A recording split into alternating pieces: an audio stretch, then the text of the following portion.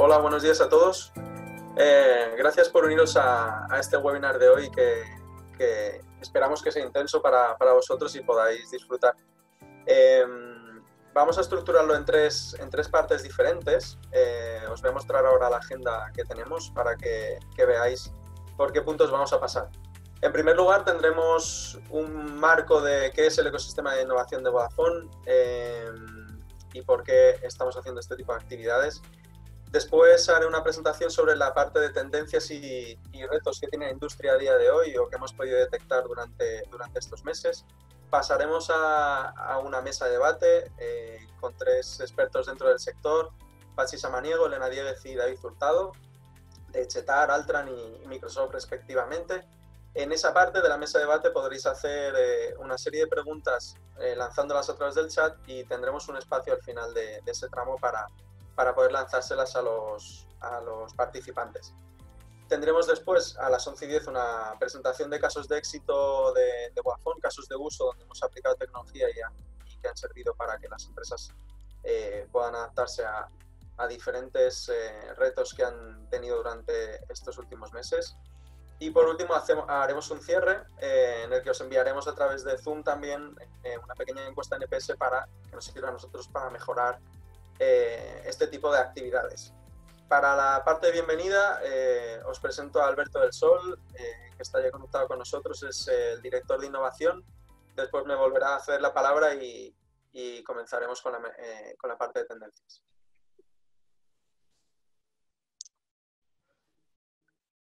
Bueno, pues me escucháis bien, ¿verdad? Sí. Bueno, pues hola a todos, buenos días, bueno, gracias por, por asistir. Y bueno, pues nada, comentaros un poco el, porqué de esta, de esta sesión, ¿no? Y, y, lo que venimos haciendo desde el ecosistema de, innovación de Vodafone en los últimos meses, yo diría que incluso años, ¿no? Pero más intensamente estos últimos meses, porque, bueno, como todos sabemos, pues han cambiado bastantes cosas en todos los sectores y era necesario juntar a los principales actores de cada uno de los sectores y conocer de cerca cómo estaba cambiando, qué decisiones estaban tomando ante esta nueva realidad, ¿no? En el ecosistema de innovación, que nace, como os comento, hace varios años, la intención es, eh, yo diría que es un poco egoísta por parte nuestra, por parte de Vodafone, porque es conocer de cerca cuáles son las necesidades de, los clientes de cada uno de los sectores, qué decisiones están tomando en cuanto a adopción de la tecnología, qué cambios culturales, qué retos eh, de competencia se enfrentan y regulatorios y poner todo esto encima de la mesa en foros que en los que se sientan eh, miembros de, empresas eh, de los equipos de dirección y de innovación que toman decisiones todos los días en foros en los que están compitiendo. Eh, compiten en el mercado, pero sin embargo colaboran en foros como los del ecosistema de innovación, que son los en, los que les juntamos. ¿Qué papel juega aquí Vodafone? Pues bueno, canalizador de estas ideas, eh, al final Vodafone no deja de ser un partner que ayuda a la digitalización, mucho más allá de ser un mero proveedor de comunicaciones. Eh, pues en los últimos años eh, nos hemos convertido más en un, yo diría, en un capilarizador de esas necesidades tecnológicas. Estos con 5G, que es una de las tecnologías que estamos trabajando, como sabéis, y pues que ahora está bastante en boga, se va a convertir incluso más en realidad. Tecnologías como inteligencia artificial, blockchain, realidad aumentada, eh, la explosión de Internet of Things van a ser posibles a través de, 5G, ¿no? Es como que es el nexo entre muchas tecnologías que ya estaban ahí latentes, pero van a tomar sentido, ¿no? Y en todas las industrias. Entonces Vodafone, probablemente igual que el resto de operadores, va a jugar un papel relevante en la evolución de los próximos años. En el ecosistema tenemos varios elementos, ¿vale? Es un ecosistema efectivamente porque tiene varios elementos. Tenemos un, un centro de experiencia demostrador en, en Vodafone Plaza, que quizá algunos hayáis visitado. A día de hoy no se puede visitar porque, bueno, pues las medidas de, seguridad que están, pero breve probablemente lo volvamos a abrir. Y ahí se pueden experimentar soluciones de nuestros partners y soluciones de Vodafone que, se pueden aplicar a cada una de las necesidades que probablemente eh, tengáis en, vuestros negocios. Tenemos también una parte más de aprendizaje y divulgativa, que la denominamos Vodafone University, en el que tratamos de formar sobre estas nuevas tecnologías a los directivos de, las empresas y hacemos sesiones abiertas. Eh, tenemos el Observatorio Vodafone de la empresa, que es una plataforma web que si no conocéis os invito a visitar.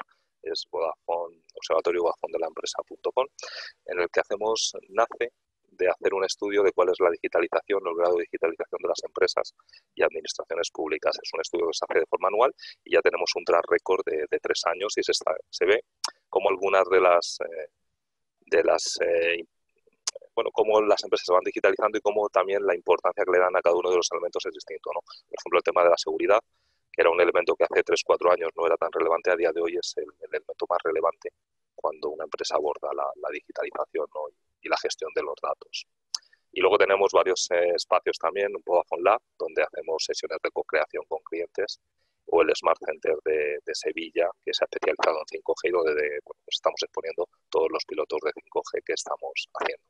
En definitiva, invitaros a participar del ecosistema, eh, no solamente atendiendo a, estas sesiones que quizás son más de conclusión y de puesta en común, sino también en las sesiones de trabajo que hay por detrás de, este, de, la presentación que hoy os vamos a hacer. Y, bueno, que saquéis el máximo partido, ¿no? Espero que sea de interés para todos vosotros. Presentaros también al, equipo de, innovación de, de Vodafone, como veis, está formado por, cinco Innovation Managers, cada uno de ellos especializado en, un área, y bueno, pues son los dinamizadores de, esta sesión. Hoy David, eh, Daniel Manzano, que es el experto en industria, industria 4.0, pues es la, persona que va a guiar. De verdad, muchas gracias a vosotros, también a, bueno, a los partners y, que, nos, que nos acompañan hoy y espero que podáis sacar el máximo partido de la, de la sesión. Muchas gracias. Gracias, Alberto. Vale, pues em, vamos a empezar con esta parte de, tendencias y retos sobre, sobre, la parte de industria. Por dar un marco general, eh, cómo está englobada la industria dentro del sector eh, aquí en España. Supone un 14% del Producto Interior Bruto, lo cual es bastante representativo. Eh, a nivel de trabajadores representa un, bueno, un 12,5% del total, son 2,3 millones de trabajadores y además es una de las de las verticales, por así decirlo, que más crecimiento ha tenido en productividad en los últimos años. Ha crecido un 61% en productividad frente al 18% en resto de, en el resto de sectores. Obviamente, por las capacidades de automatización y de tecnología que se puede ir metiendo en, los sistemas industriales. Eh, es cierto que a nivel de innovación, el tejido industrial español está muy formado por pymes y medianas, eh, por medianas empresas y en torno al 14% de todas ellas sí que considera que realiza actividades de innovación. Eh, en las grandes empresas sube hacia un 40%, pero es un, es un porcentaje quizá no tan elevado como en otros países. Y a niveles de, de añadir eh, el valor añadido sobre las exportaciones, que antes eh, en torno al, a 1995 era bastante elevado, era un 73%, ha ido decayendo hasta un 62% a día de hoy lo cual bueno, nos posiciona eh, en un punto intermedio en cuanto a ventajas competitivas con, respecto a otros países a, día de hoy. A nivel de marco global, en, cómo estaban posicionadas o qué pensaban las empresas que iba a ocurrir antes de que, de que sufriéramos los efectos del COVID, eh, simplemente cuatro pinceladas. En, en, la parte más de inversión digital, eh, los fabricantes predecían que en torno al 47% de todos los productos eh, iban a ser inteligentes, iban a estar conectados y iban a ser capaces de, generar ingresos por servicio más allá del producto justamente en este año. Eso es lo que se decía en, años anteriores. El 50% de las empresas empezaban a, pensar que utilizarían de aquí, de años atrás hacia 2021, eh, las Digital Twins, que son esa virtualización de la propia factoría para poder hacer predicciones y diseños sin necesidad de, cambiar la fábrica. En la parte de, expectativas que tenían ellos, es verdad que eh, apuntaban muy alto a, tener una relación mucho más fuerte con el consumidor final. Eso sí que es una tendencia que, va a seguir aumentando, pero en torno al 62% de los fabricantes esperaban tener una relación más estrecha con sus propios consumidores. Y a niveles de inversión, eh, era bastante ambicioso. Unos 250.000 millones de, dólares eh, pensaban invertir en procesos de digitalización y operaciones con IoT antes de que todo esto eh, del COVID y estos meses pasados ocurriese. En cuanto a nuevas tecnologías, el 60% de, de, los principales fabricantes comenzaban a pensar que sus inversiones en ecosistemas sin experiencias diferentes para para 2020 se verían incrementadas. Eh, por ser un poco más concretos, en la parte de sistemas robóticos, eh, se estimaba que hubiera una inversión de en torno a 67 mil millones de, dólares para 2025. Ahora veremos cómo afecta también la situación que hemos tenido ahora. Por último, la parte de cambios en la fuerza de trabajo. Esto es algo que hemos venido viendo en los últimos años y es cierto que ahora se ha acelerado. alrededor del 91% de la población activa sí que es verdad que se siente más, más inteligente o más integrada con el trabajo que, utiliza, o sea, que realiza, perdón, cuando está más integrado con las propias máquinas y cuando puede de alguna forma relacionarse con ellas, sentirse útil en esa colaboración. Eh, y también es cierto que para hacer eso más fácil, en torno al 60% de las empresas, pues bueno, en los últimos meses esperaban integrar sistemas de realidad aumentada cada vez más, sobre todo en operativa e información. Ahora bien, vino el cambio del COVID que hemos, que hemos ido sufriendo ahora y estos son un poco los impactos que, de acuerdo a una encuesta de McKinsey, se han, visto en, el sector en global. Lo más evidente, ha habido una aceleración en la bajada de márgenes. Ya venía ocurriendo, pues esto ha, hecho que se acelere aún más y un, poco una reducción de crecimiento. Si ya era visible la dependencia global de Asia, pues ahora muchísimo más. Obviamente todo el mundo ha visto como las cadenas de suministros han visto em, afectadas. ¿no? De hecho, en torno al 45% de las empresas han sufrido eh, rupturas en esa cadena de suministro por esa alta dependencia. También un 41%, obviamente, ha experimentado que en la demanda. Inevitablemente, muchos sectores que han paralizado han tirado del sector industrial, eh, que no ha podido dar sus productos finalizados. Y una parte muy importante, el 30% ha tenido disponibilidad de trabajadores, es decir, que eh, ha hecho que se replanteen temas como la automatización o cómo puedo dar yo continuidad de negocio si me vuelven a ocurrir eh, situaciones como la actual, ¿no? Entonces, esto ha derivado en, estos tres puntos que vemos a la derecha. Muchos de los fabricantes han hecho un foco en recorte de costes, eh, porque en el corto plazo han querido prevenir ese sentido. Sin embargo, otros han aprovechado para formar más a sus empleados y acometer precisamente mejoras en la cadena de producción. Si no estoy produciendo ahora y la puedo tener parada de alguna manera, voy a cometer mejoras. De hecho, esto ha hecho también que muchos de ellos eh, empiecen a revaluar la cadena de suministro y a iniciar esa especie de recentralización que muchas se plantean eh, y no tener tanta dependencia del exterior, así como incluir más herramientas de trabajo en remoto, eh, más herramientas de control y salud para los trabajadores, por supuesto, y todo esto apoyado en muchos casos con Internet of Things, que al final el hecho de tener esta sensórica y todo conectado nos permite ir hacia, hacia este nuevo escenario. Además de estos impactos, ¿qué cambios han producido de estos seres que ya hemos conectado? 39% de las empresas han, establecido un centro de control en tu de la cadena de suministro, es decir, un, un, marco mm, más estrecho de control de qué ocurre en mi cadena de suministro desde el propio eh, eh, supplier hasta, hasta el propio cliente final. El 25% ha aprovechado para acelerar la automatización, para afrontar precisamente la falta de trabajadores que, veíamos antes, en caso de que me vuelva a ocurrir, cómo puedo afrontar y ser más ágil en, en revertir la situación. Un 93%, obviamente, eh, piensa fortalecer la cadena de suministro, pero la gran mayoría, de alguna manera, eh, quiere establecer una fortaleza y están viendo de qué manera es mejor hacerlo. Y lo más relevante, el 90% de ellos eh, están pensando en invertir en talento. Al final, no solo por el cambio de trabajadores y de perfil que veníamos viendo los últimos meses y años, sino porque todo esto, al haber acelerado la situación, hace que se vuelva todavía más importante y detectas necesidades que antes no tenías, con lo cual necesitas perfiles tecnológicos que antes no tenías. ¿Qué ha ocurrido en cuanto a las inversiones? Dado que esta situación es verdad que ha limitado un poco la, o ha hecho que el efectivo sea más necesario para hacer frente a, la situación, eh, las empresas se han dividido en tres grupos al final. Eh, muchas de ellas han querido aprovechar para acelerar soluciones que lleven a quick wins, que van a ser todo lo que me permita que los trabajadores vuelvan a trabajar, es decir, control de la salud de los trabajadores, social distancing y trabajo remoto principalmente. A un nivel medio de prioridad de inversiones se estima que dejarán aquellos, aquellos temas que tengan más que ver con la integración de IT y de OT, como puedan ser las digital twins o toda la parte de logística integrada, aunque es cierto que es un punto muy importante en toda la cadena de suministro. Y desde luego van a retrasar las inversiones en eh, aquellas iniciativas que requieren mayor inversión y no tanto retorno a corto plazo, como por ejemplo todo lo que tenga que ver con blockchain y nanotecnología, que son tecnologías avanzadas que se estaban empezando a explorar, pero quizá ahora mismo se retrase un poco la inversión en ellas.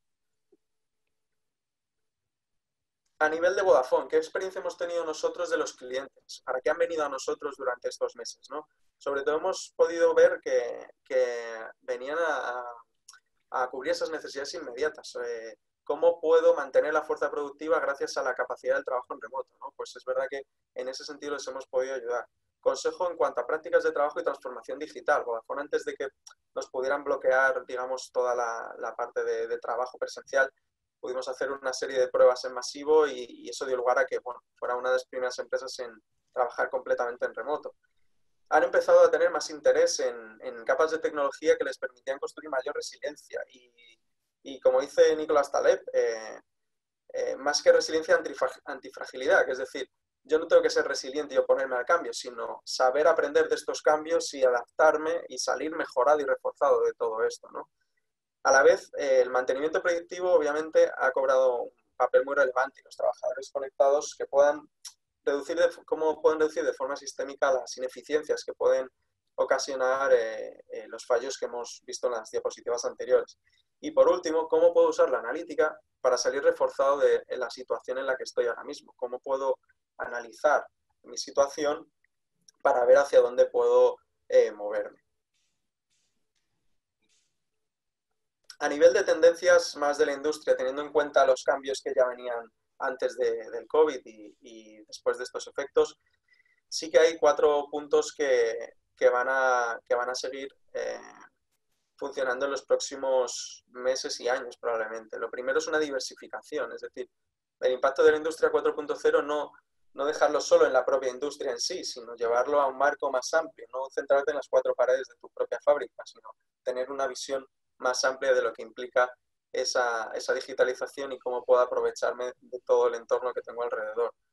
Mayor creación de valor. Eh, la digitalización no solo orientada hacia la productividad pura y dura, sino hacia cómo puedo crear nuevas fuentes de valor. Escalar mejor. En muchas de las empresas, en torno al 70% que inician eh, proyectos digitales, se quedan en, un piloto y luego no escalan hacia un proyecto. Eh, luego veremos por qué ocurre esto también. Y por último, una implementación en tu end, ya que tengo que hacer esa diversificación y tener un impacto más amplio de, la, de lo que significa mi industria conectada. Toda la cadena de valor la tengo que abordar y estudiar de un marco de vista, de un punto de vista más, más amplio. Aparte de este punto, tenemos eh, cuatro ámbitos en los que se está moviendo ahora mismo la industria. IT y OT cada vez convergen más, es decir, los sistemas informáticos tradicionales y los sistemas usados para controlar y supervisar procesos. El incremento en ventas de robots colaborativos, por ejemplo, se ha aumentado un 159% en los dos últimos años el movimiento hacia el Product as a Service, es decir, ya vamos de un producto hacia un producto que me da servicios adicionales. Esto es posible gracias al crecimiento de elementos como el uso de cloud y de Internet of Things, que me permite que esos productos estén conectados de otra manera.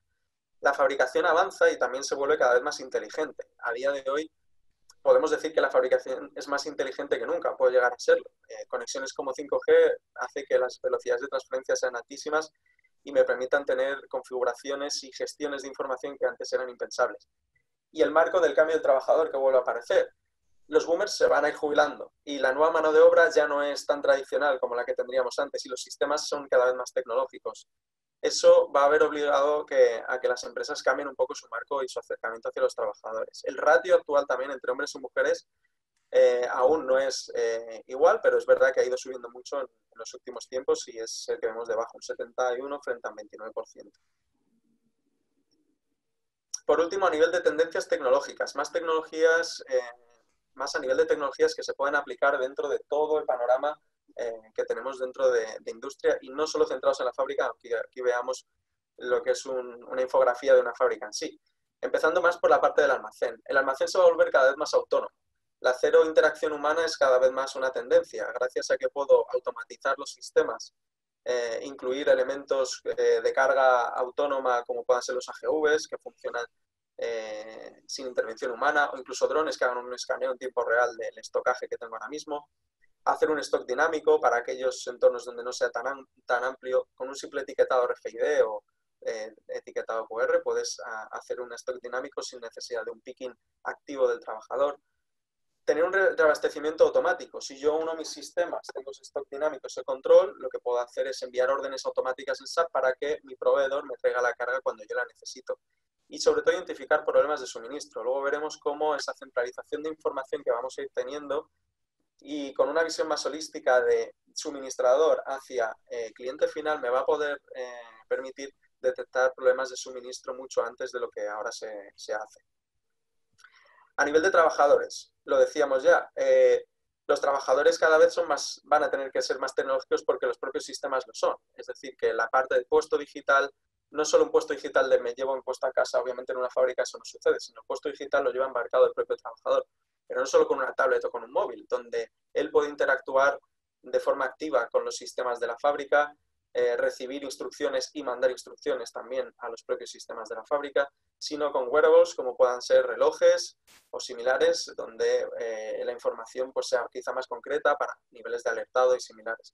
Y sobre todo, eh, empezar a meter la realidad virtual y aumentada para tener un soporte experto remoto o un soporte in situ de, de las propias características de sensórica, estado de la máquina, etcétera, que el trabajador pueda ver de una forma mucho más sencilla. Al final, superponiendo en el entorno eh, las características o el estado actual en el que está una máquina, un punto de fabricación, me permite interactuar de una forma mucho más ágil, sin necesidad de paradas en ciertos tramos de la cadena y pudiendo informar al resto. Incluso dejando notas en el propio espacio, de tal forma que cuando llega un trabajador a ese punto, ve la nota que tú has dejado en ese mismo punto. Es decir, la información va a estar disponible en cualquier lugar, incluso en lugar físico visual para los propios trabajadores. Eso cambiará mucho el panorama de cómo vamos a trabajar a partir de ahora.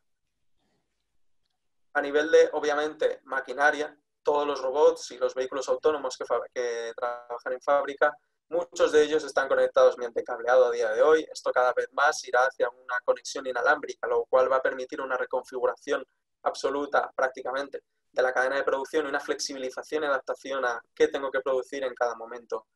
Eh, la ventaja competitiva de eso es, eh, eh, inimaginable. Aparte de esta parte, como os he comentado al principio, dado que yo voy a tener todo más conectado que nunca y voy a ser capaz de interactuar no solo con las máquinas, sino con los propios trabajadores y voy a ser capaz de integrar información, llamémoslo Big Data, que no me viene solo de mi fábrica y de mis previsiones de venta y, y cómo tengo el stock a día de hoy, sino viendo qué está ocurriendo fuera con otras fuentes de información que hasta ahora no estaba integrando. Eso va a hacer que mi planificación y monitorización sea mucho más alta y mi capacidad de predicción también. Es decir, la planificación se va más flexible y adaptable. Voy a tener un vínculo real con la demanda y con la previsión, eh, estableciendo y siendo capaz de meter esos otros elementos de información que hasta ahora no he sido capaz de meter o tradicionalmente no se han incluido voy a tener métricas en tiempo real, puesto que voy a ser capaz de medir en tiempo real qué está ocurriendo dentro de mi fábrica y también qué está ocurriendo fuera, con esa capacidad de manejo de la información. Y por supuesto, la parte de mantenimiento predictivo es lo que voy a obtener como resultado de todo esto. A nivel de simulación y de diseño, meter tecnologías como Digital Twins, ¿qué puede, qué puede hacer? Que yo simule en fábrica qué ocurre si cambio una determinada línea o qué ocurre si yo meto un determinado producto, cómo me puede afectar en producción sin necesidad de probarlo en real esa virtualización de la, de la fábrica va a ser algo también diferencial. Por supuesto, vuelve a aparecer toda la parte de realidad aumentada y virtual que ya se viene utilizando desde hace mucho más tiempo en, simulación y diseño que la propia fábrica, pero que todavía tomará más relevancia y, por supuesto, el modelado 3D para, para todo el diseño eh, que cada vez más se está metiendo también en la capa de producción, no solo en la de diseño y prototipado. A nivel de gestión energética de la planta, cada vez más eh, empresas eh, generan su propia energía y eso hace que puedan utilizarla para, gestionar mejor cuando tiro de la red y cuando yo soy el emisor eh, neto de energía volcado a la red de, electricidad. Pero no solo eso, si yo tengo mapeado absolutamente qué está ocurriendo dentro de mi fábrica, puedo detectar fallos si se está desviando alguno de los procesos o puedo optimizar el uso eficiente de toda la cadena de producción, de tal forma que los costes globales de producción los veo reducidos en un gran porcentaje. Esto es muy relevante porque es uno de los puntos donde ahora mismo hay más eh, problemas a la hora de, bueno, de ganar esa eficiencia en costes. A nivel de asset tracking, ya quiero tener todo traqueado, igual que a nivel de información quiero tener ese marco amplio de qué está ocurriendo más allá de mis cuatro paredes de la fábrica, el tener la carga controlada, asegurar que llega donde tiene que llegar, en las condiciones en las que tiene que llegar, eh, tanto con sensórica IoT como sensórica embarcada en el propio camión, eh, me va a permitir que mi producto llegue en condiciones óptimas. Pero no solo eso. eh, yo puedo gestionar sobre la marcha las rutas de una forma dinámica. Ya no voy a tener que replanificar planificarlas de antemano simplemente, sino que en el momento si ocurre algún incidente puedo replanificar absolutamente las rutas logísticas y eso me va, a permitir tener una flexibilidad muchísimo mayor y más eficiencia de uso de, los propios eh, vehículos de, entrega. La parte que comentamos al principio de eh, los productos, cómo van a tomar un papel más relevante, de, eh, convirtiéndose, añadiendo esa capa de valor como servicios, no hay que perderlo de vista y va a alimentar también toda nuestra capa de, de información que vamos a tener. Y por último, la capa de conectividad. Todo esto es posible gracias a que tenemos una conectividad casi ubicua que nos va a permitir conectar todos estos elementos que hemos ido viendo. Al final, el hecho de que ya tengamos 5G, IoT hace años que, existe, pero cada vez más toma más relevancia en, el sector y, por supuesto, la parte de cloud. Eh, con 5G, si yo tengo una red privada móvil en mi propia fábrica que me permite no solo conectar las máquinas, sino darme todos los servicios de conectividad que pueda necesitar en un momento dado, incluso yendo más allá con las capacidades de Edge Computing, es decir, que aligero los propios equipos que no van a tener que procesar cierta información in situ y pueden ser más, más ligeros. Solo tener los sensores porque yo me llevo el procesado a la nube. Esa parte de manejar tanta información en la nube, como veíamos antes, requiere una capa adicional de seguridad, pero precisamente las tecnologías cloud es lo que nos aportan. Esa conexión privada que yo tengo entre mis elementos y cloud eh, tiene esa capa de, seguridad que, cada vez se necesita más. Y por supuesto vamos a decir hacia ese mundo de tener Internet of Everything, ¿no? Vamos a estar cada vez más con todos estos elementos conectados. Esto es un poco la capa de, tendencias tecnológicas que, os queríamos presentar eh, por tener un marco, sobre todo antes de, empezar con, con la mesa de debate. Así que si os parece... Buenísimo voy a presentaros, aunque ya lo he hecho al principio. Eh, David Hurtado, Technology Strategist de Microsoft, bienvenido. Muchas gracias, Daniel. ¿Qué tal? Elena Diegues. Oye, interesantísimo, perdona que te interrumpa, interesantísimo lo que has estado contando. ¿eh? Muchas de esas tendencias hasta hace poco parecían cosas de ciencia ficción, de pilotos así muy avanzados, y ya las vemos como igual voy necesitando esto el año que viene o el siguiente como muy tarde. ¿no? Sí, y de hecho se ha acelerado bastante con, la situación de ahora, la verdad que lo estamos viendo también. Ahora charlamos sobre ello un poco. Eso es. Elena Dieguez, eh, Key Account Director de Altran, bienvenida. Hola Daniel, ¿qué tal? Encantada de estar aquí con vosotros. Gracias, a ti igualmente. Y Pachi Samaniego, Director de Innovación de, de Cheta. ¿Qué tal, Pachi? Pues Bueno, pues nada, bienvenido a los tres. Eh, por abrir un poco el debate, sí que quería preguntaros por quizá lo más obvio, ¿no? Pero al final, bueno, creo que es lo que más eh, esperamos un poco todos ahora al inicio, es cómo habéis vivido vosotros en vuestras empresas eh, en estos meses este, estos cambios que, hemos podido tener y cómo os ha ayudado la tecnología, si es que os ha ayudado. también si hay algún cambio que habéis tenido que realizar y que vayáis a, a tener de manera permanente. A lo mejor alguno ya lo, ya lo ha tenido de antes y no lo ha notado apenas, pero bueno, sí que me gustaría saber vuestra opinión. Así que quien quiera empezar, que nos cuente un poco su experiencia y, cómo ha sido la tecnología para ello. Ok, si queréis, me arranco yo. Empieza ¿vale? venga. venga, respecto a este tema, la verdad es que supongo que un poco lo que nos habrá pasado a todos, ¿no? Eh, empezamos un momento de, incertidumbre, de, bueno, ¿y ahora qué? ¿Y ahora cómo hacemos esto? ¿Qué está pasando? Pasado ese momento inicial, la verdad que nosotros desde Altran teníamos una, podría decir, una buena posición en el sentido de que teníamos el teletrabajo instaurado en la compañía con una presencia aproximadamente del 22%. Esto, bueno, lo que hicimos básicamente fue extenderlo a todos, a todos los empleados, ¿no? Hasta, llegamos hasta un 85%. Lo que no se llegó a hacer en teletrabajo era porque básicamente por motivos de proyecto no era, no era factible hacerlo. Entonces, bueno, el reto de, abordar el teletrabajo desde, desde nuestro punto de vista, em, bueno, no ha sido especialmente complicado. Sí es verdad que el modelo que teníamos era un modelo mixto, en el cual eh, manteníamos tres días desde casa, dos días desde la oficina. Este modelo va a ser el que se va a seguir implantando para el futuro eh, de trabajo para todos los empleados. Eh, lo vamos a seguir implantando principalmente para asegurar además una ocupación no superior al 50% de, de las oficinas y así pues garantizar un poco tanto la conciliación, porque al final de lo que estamos hablando también es de que hemos tenido con este proceso un cambio mental todos, de cómo mm, tenemos que trabajar y qué tenemos que hacer. Sin duda, sin duda. Y al final hablamos de conciliación, hablamos de, sobre todo también de estar eh, seguros en nuestro puesto de trabajo, que es algo que ahora ha cobrado muchísima más importancia. Así que bueno, para mí, eh, digamos que no ha sido especialmente crítico, pero sí que ha sido una ventaja haberlo ya tenido y una muestra hacia dónde queremos ir. Y otro tema que quería abrir y que seguro que también David y Pachi eh, lo, habéis vivido, es que mm, estar en la oficina, entre otras cosas, lo que te permite es una sociabilización. Por eso queremos seguir manteniendo esa asistencia a la oficina. Esa sociabilización te va a llevar a una mayor creatividad. Y de ahí que esos modelos vistos sean lo que nosotros pensamos que, que tiene más, más sentido. Sin duda. David, ¿vosotros cómo lo habéis pues, pues os cuento yo. La verdad es que nosotros, un poco como, como Elena, eh, nosotros ya teníamos implantado teletrabajo, un modelo flexible en el que desde hace un montón de años no tenemos horario como tal, sino que podemos trabajar donde estemos y donde queramos.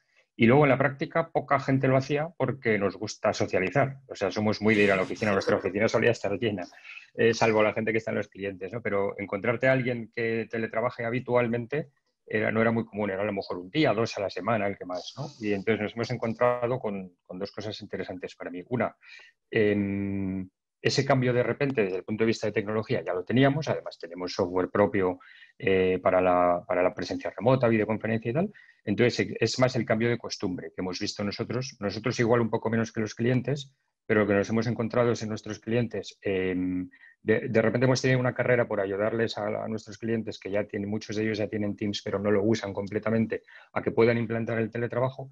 Y nos hemos encontrado más haciendo aspectos de cambio cultural y de formas de trabajar que de tecnología como tal. Es decir, un poco como decía Elena, es más el cambio en la forma de hacer, ¿no? Y de hecho nos hemos encontrado en muchas situaciones donde los clientes nos preguntan más cómo gestionar el teletrabajo desde el punto de vista de cambio humano. Es decir, el cambio tecnológico tiene un par de baches que tengo que resolver y lo hago y al final se resuelve, aplicaciones remotas, eh, telepresencia y tal. Y ahora el siguiente es, y la gente no está acostumbrada a esto, cómo socializamos tal, ¿no?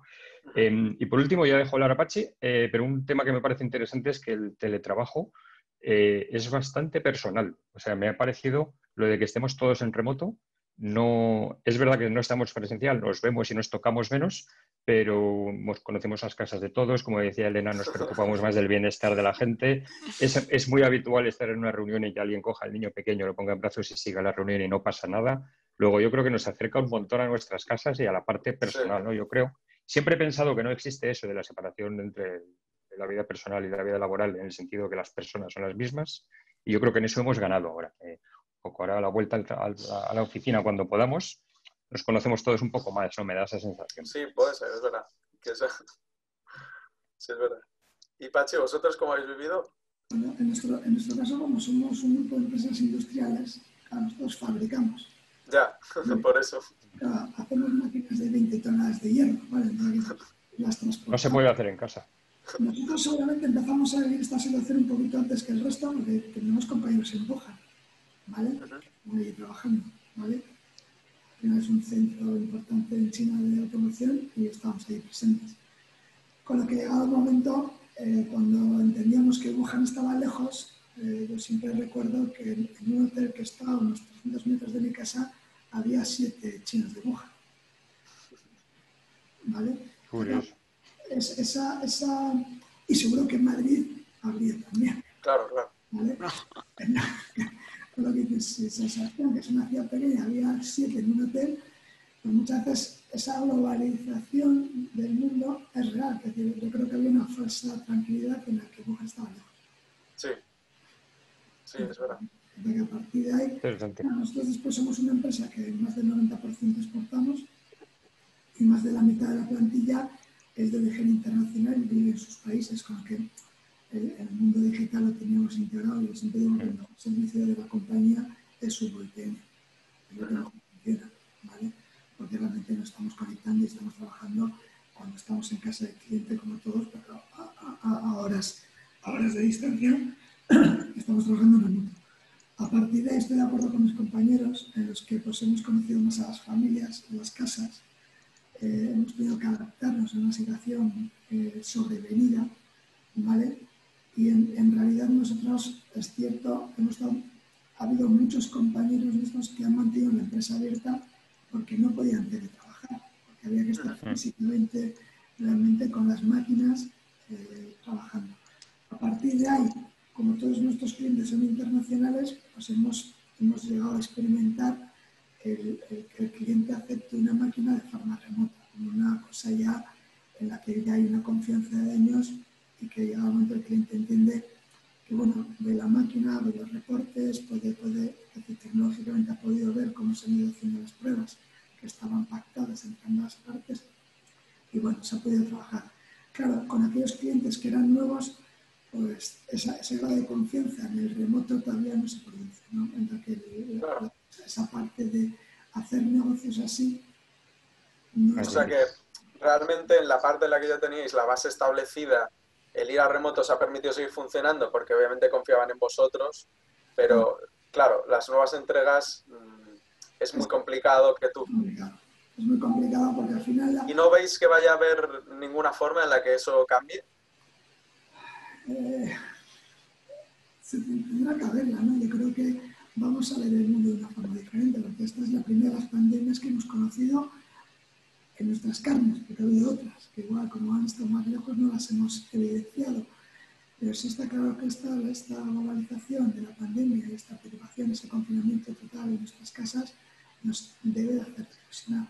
Pero es evidente que en muchos casos no vamos a poder desarrollar digital teams si no estamos en cuenta si desconocemos cuál es el proceso de nuestro cliente, ¿no? Sí. Por ejemplo, ¿no? muchas de las tecnologías que se pueden desplegar para facilitar a los potenciales clientes nuevos no se van a poder desarrollar a la distancia, vamos a tener que visitar, vamos a tener que ese contacto que siempre es valorado con, con, compañeros y con clientes. En que todo eso habrá que reformularlo, ¿no? Habrá que reformularlo.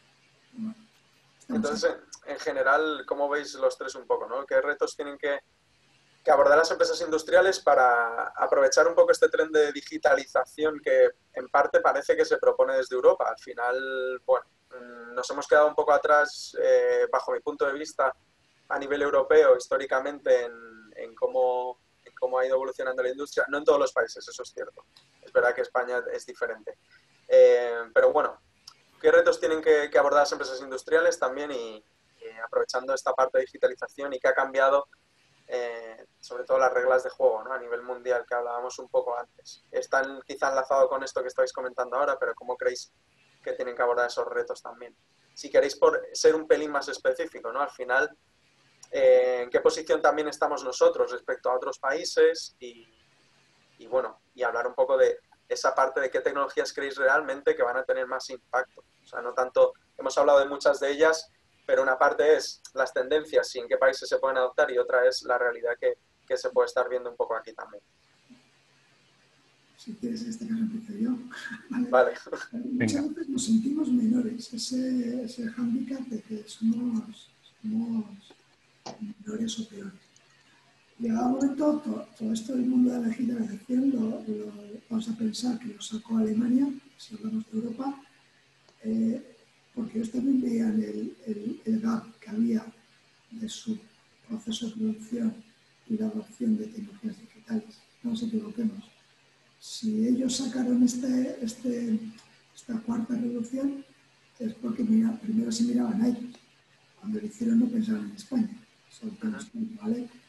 muchas veces los españoles tendemos a, a, ver solo lo malo que somos. ¿vale? Y realmente cuando sales por el mundo está claro que ves que en, todos los países tienen sus, circunstancias. Nosotros, por ejemplo, en un viaje que hicimos a Suecia, la fundación más antigua que en Europa, aquello era una chatarrería. las tecnologías estaban ausentes y en cambio era de uno de los grupos más importantes mundiales de automoción. primero, que no nos vengamos abajo antes de empezar. Otra cuestión es si, seremos capaces de aprovechar o no la oportunidad. Es cierto que nuestras visitas a Asia, si hablamos de Asia, países como China eh, están realizando inversiones ya en los últimos años eh, que realmente asustan. Cuando ves las, las plantas productivas asiáticas. ¿no? Más allá de que puede ser divertido ver una fábrica como Tesla, pero es que ya en China hay muchos Teslas. ¿vale? O por ejemplo en Japón pues tener fábricas que están oscuras, porque todo el proceso está gestionado por robots. Ahorran en luz, es decir, te encienden la luz para que veas la fábrica y después la vuelven a apagar. Es cierto que tampoco, tampoco es ni lo más generalizado ni, lo, ni, ni, en todos los sectores. ¿vale? que yo, y termino, diría que no somos tan malos. Tenemos trabajo por delante, pero no nos vendamos abajo antes de empezar. Estoy, totalmente de acuerdo. Si me dejas, Elena, comento, comento yo, hablabas de un poco qué tecnologías eh, parece que se van a implantar o son, o son ahora más tendencia o qué retos ¿no? las empresas industriales. Yo creo que lo has, lo has hecho muy bien antes cuando salía el diagrama de, de todas las tecnologías tendencia que has comentado lo de que tiene que dejar de ser piloto, ¿no? Yo creo que llevamos muchos años haciendo pilotos y está todo el mundo un poco cansado, tanto las empresas de tecnología como los clientes, de hacer piloto de tecnologías que parece que funcionan, pero no acaban de implantarse más allá de a lo mejor una solución de nicho. Y eso es porque normalmente requiere un cambio en la forma de trabajar de las empresas. Por ejemplo, comentabas temas de eh, la fábrica completamente autónoma, donde está todo controlado por robots que, son, eh, que están sensorizados a través de IoT eh, comenta Pachi que en Japón ya hay fábricas así, yo creo que aquí estamos lejos. O sea, yo creo que lo que hemos visto es que estas tecnologías, que yo diría que son sobre todo IoT, eh, sensorización en general, tanto para robótica como para darme eh, muchos datos y poder hacer analítica avanzada, modelos predictivos y temas de realidad mixta y tal, pasar del piloto a empezar a ver proyectos reales. Entonces, yo lo que creo que vamos a ver es el mismo tipo de tecnología, pero con, una, con un despliegue mucho más real y mucho más avanzado. No, no creo que lleguemos... Claro, o sea, que, que, deje de ser piloto. O sea, yo creo que lo que decía es que por ahí el grano es que requiere un cambio en la forma de trabajar que hasta ahora la fábrica seguía trabajando como seguía trabajando y ese cambio es más, más costoso de hacer que el tecnológico. Yo creo que el COVID nos ha traído la idea de que el cambio es necesario, hay que hacerlo, hay que tecnificarse más todavía. Eh, entonces, esas tecnologías que ya llevamos años pilotando las vamos a implantar de verdad. Yo no creo que nos llegue como para que ahora para mañana tengamos fábricas autónomas prácticamente sin trabajadores, sino creo que lo que va a pasar es que vamos a adoptar mucha más tecnología para facilitar la vida al trabajador. Pues esa es la idea. Por ejemplo, comentaba sobre drones. Estamos viendo muchos casos de drones. O sea, yo creo que casi todas las empresas han hecho algún piloto. Hmm. No me imagino drones completamente autónomos eh, sobrevolando una obra o una fábrica así el día de mañana, hmm. pero sí me imagino muchos trabajadores utilizando drones para hacer su trabajo más seguro y más eficiente. ¿no? A lo mejor para inspecciones visuales, por ejemplo, pues en la planta 35 de un rascacielos, mandar un dron en lugar de, mandar personas para ir cosas así. Luego yo creo que es básicamente sensorización IoT más avanzado de lo que tenemos ahora eh, para poder coger muchísima más información y poder eh, tener datos reales, insights y modelos predictivos de cómo está funcionando la fábrica y recomendaciones y conectar mucho las fábricas con otras áreas de la cadena de valor. Creo que también has comentado algo de conectar la fábrica con la parte lógistica, conectar eso con la parte comercial y que esté todo más, más conectado. Sí, que las áreas no estén tan departamentadas, ¿no? y que pueda ser una planificación, una visión más global de, toda la... Ya, yo, yo, creo que ese es un punto crítico porque cuando vamos a alguna compañía a, contar alguna solución súper innovadora de, por ejemplo, drones con IoT, analítica avanzada y tal, eh, muchas veces nos encontramos que ya lo tienen en un nicho y dicen, eh, tengo una solución muy buena que no sale de ahí y que está ahí. Y dices, joder, eso tendría muchísimo valor si pudieras sacar esa información y conectarla con la siguiente área de tu cadena de valor. ¿no? Lo vemos mucho con la realidad mixta.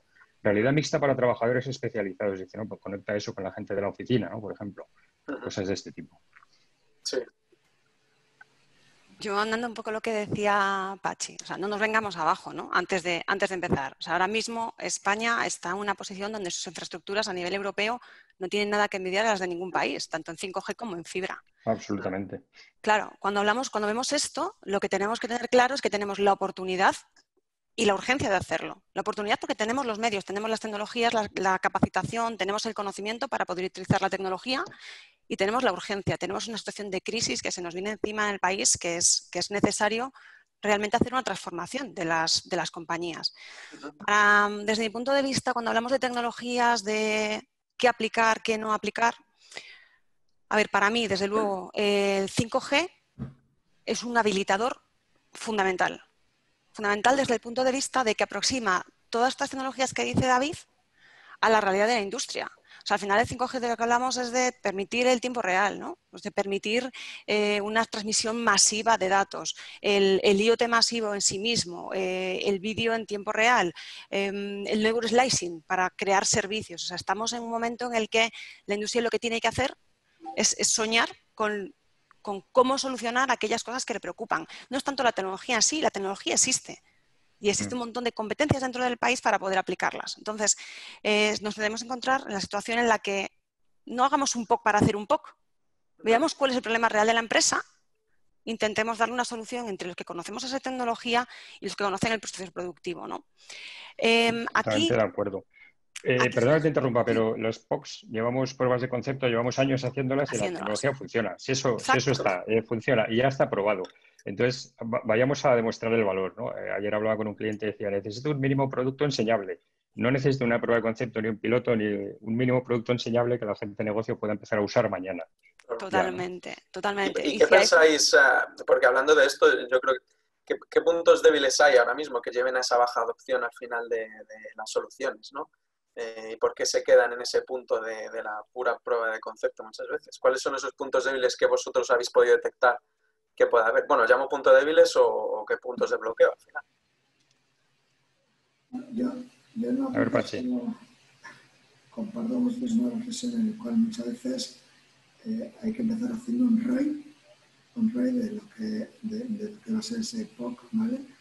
Y ahora un momento, siguiendo con las palabras de Elena, Realmente, en algunos casos nosotros con, con Vodafone hemos hecho algún tipo de, de, trabajo en el que se demuestra que el despliegue de 5G en cualquier instalación grande es más económico ¿vale? que un despliegue tradicional de cableado infraestructura cableada ¿vale? y con una mejor cobertura. Pero que hay que hacer el rey y hay que demostrar que hay que pasar de que somos capaces de entender que los servidores pueden, ser, estar fuera de nuestra compañía, puede haber muchos puntos que ya entendemos, en cambio no entendemos que otras, otras tecnologías como el 5G vienen para quedarse y nos van a facilitar lo que es la, eh, una, una, una, conectividad completa en toda una planta. Yo decía en otro acto de Vodafone que nosotros estando en la provincia de Tianjin en China nos encontramos una planta bastante más grande que, que la mayor española 100% desplegada en 5G y que ya no admiten el cable. Es decir, es mucho más económico desplegar 5G que, que, echar, que echar el cable. Pero todavía no hemos sido capaces, en algún caso, de entender su retorno de inversión. Es lo que tenemos que llegar a, a, demostrar a la gente de tecnología, a las empresas, que es que es más barato.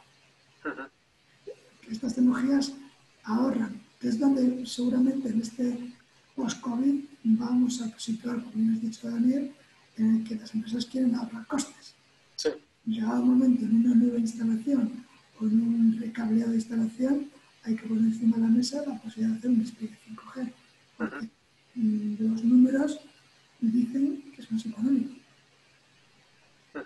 Sí, yo creo que parte quizá de reflejar al final mejor, ¿no? Que te supone esa inversión, que quizá sea uno de los puntos de bloqueo para que luego escale a, proyecto lo que se ha hecho prueba de concepto, que también ha requerido una cierta implicación, ¿no? ¿Qué otros puntos veis, Elena, David, en este sentido? Hay otro punto que también es muy importante y es necesario abordar, que es la capacitación.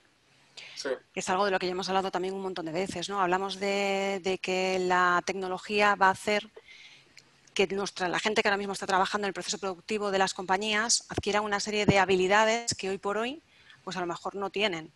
Em, em, es un debe, quizá, en la, en la industria española, ¿no? esta parte de formación. Pero también he de decir que yo entiendo esa formación no como una formación formal, porque al final eh, de lo que estamos hablando y el modo de, de adoptar una tecnología es en la experimentación. O sea, hacer las cosas tocando esa manera mantiene muchísimo más motivada a la persona y consigue que realmente entienda para qué hace lo que hace y cómo lo hace. Entonces, eso para mí es otro punto clave que hay, que hay una necesidad de, de, poner el foco. ¿no? Y en ese sentido también un poco, ahora te, te pregunto también, David, pero como ya has enlazado la parte del, trabajador, que creo que es, es, relevante, ¿no? Al final, ese perfil tradicional está cambiando también, pero no solo por, por cuestiones de que las personas a lo mejor estén empezando a poder tener otro tipo de formación, sino también la propia industria tiene que demandar eso. Ahora bien, tienes un ámbito de transición entre con quién estás trabajando ya y lo que necesitas ahora mismo, ¿no? De hecho, pues cómo tiene que evolucionar esa parte o qué retos hay a la hora de generar esas capacidades digitales, qué conocimientos deben tener los nuevos perfiles. Mm, se me ocurre eh, más data scientists en la parte de logística y suministro o bueno, ¿cómo, se impacta, cómo impacta eso ahora mismo, esa parte más de perfil y capacitación. David, luego no te me escapas, ¿eh? te hago las dos de golpe, pero... A ver, porque las tengo aquí apuntadas. Mira, desde mi punto de vista, al final tienes una serie de perfiles que lo que tienes que hacer es que se adapten a esta tecnología, ¿vale? Y esos perfiles los necesitas, pero además los necesitas porque son los que conocen tu proceso productivo. O sea, no nos olvidemos que la tecnología habilita, pero no es el que hace. O sea, tú puedes automatizar cosas, pero desde luego el que conoce lo que sucede en una fábrica es la persona que está trabajando en ella. Con lo cual, necesitas ese reskilling ¿no? de, las, de las personas. Pero es que además tú puedes rediseñar tu proceso productivo de tal manera que determinados perfiles hagan determinadas actividades dentro del proceso y puedan tener el soporte respecto para realizar otras e incluso con gemelos digitales que esa parte del proceso sea realizado en remoto en caso de que esa persona no esté en fábrica. Y estoy totalmente de acuerdo contigo. Surgen también otra serie de perfiles que se incorporan a la empresa, eh, que pueden ser los científicos de datos o puede ser incluso la parte de ciberseguridad, que es otro tema súper importante que habría que abordar en esta, en esta transformación. David, pues si quieres también me interesa conocer cómo ves esa parte, ¿no? De esos puntos débiles a la hora de adoptar eh, o de eh, dar ese paso de prueba de concepto a, proyecto y sobre todo ya que hemos empezado a hablar de ese otro ámbito que es los retos a nivel de trabajadores, ¿no? Y cómo, qué tipo de capacidades veis o, de qué manera hay que abordar esa transformación. Mm, sí, yo, creo que está unido porque la capacitación es uno de esos, ¿no? Pero la dejo para el último y yo creo que entre los retos, eh, yo creo que hay uno muy importante, es que la tecnología siempre ha sido visto como un añadido al negocio. Es un departamento más, el departamento de IT, que hace cosas, luego tiene su vertiente de innovación, que hace cosas un poco más eh, pintonas, como quien dice, pero siempre ha sido uno más. ¿no? Es, digamos, la empresa va por un lado con su forma de hacer e IT está para ayudarme con la tecnología. Y yo creo que hemos pasado un punto, esto luego dice mucho nuestro CEO, Satya Nadella, de intensidad tecnológica, es que el mundo es tecnológica. Todos llevamos un teléfono móvil en el bolsillo que es más potente que un ordenador de hace 10 años. Entonces, la tecnología, no la tecnología per se, pero la tecnología debería formar parte de la estrategia de una compañía. Cualquier negocio hoy en día, eh, me estoy imaginando, por ejemplo, el de Pachi, que trabaja por todo el mundo, con empresas por todo el mundo, cualquier negocio basa una gran parte de su estrategia en el uso de la tecnología y cualquier em-, empresa debería ser capaz de tener sus propias capacidades tecnológicas y digitales. Entonces, creo que la tecnología debería formar parte más estratégica de la empresa. Dices, hombre, esto me lo dice el de Microsoft, que es lo que vende, ¿no? También, pero no es esa la idea. La idea es que em, vivimos en un mundo súper tecnológico. tenemos tecnología en todas partes. Em, tenemos televisiones con aplicaciones en casa. O sea que la tecnología debería formar parte mucho más estratégica, menos eh, ser menos un, departamento que ayuda a los demás. ¿no? digo que todas las empresas se tengan que volver de repente en empresas eh, que vendan tecnología, pero sí pasar la tecnología un poco más en su estrategia. Esto lo vemos mucho, mucho, mucho en el área de inteligencia artificial. Las empresas que adoptan con éxito la inteligencia artificial son aquellas que la consiguen incluir en su estrategia de compañía. Es un tema un poco más difícil porque la inteligencia artificial es más difuso de entender y, es, un poco más complicado, pero yo diría que la tecnología en general, las comunicaciones, decía Elena, el 5G ya está aquí, eh, el 5G debe formar parte de la estrategia de mi compañía porque me habilita nuevos escenarios de negocio que los voy a necesitar en un futuro muy, muy, muy cercano. Em, además, hoy en día vemos empresas tecnológicas que igual hacen, igual hacen redes sociales y coches eléctricos que lanzan satélites al espacio. Quiero decir que está todo muy mezclado. ¿no?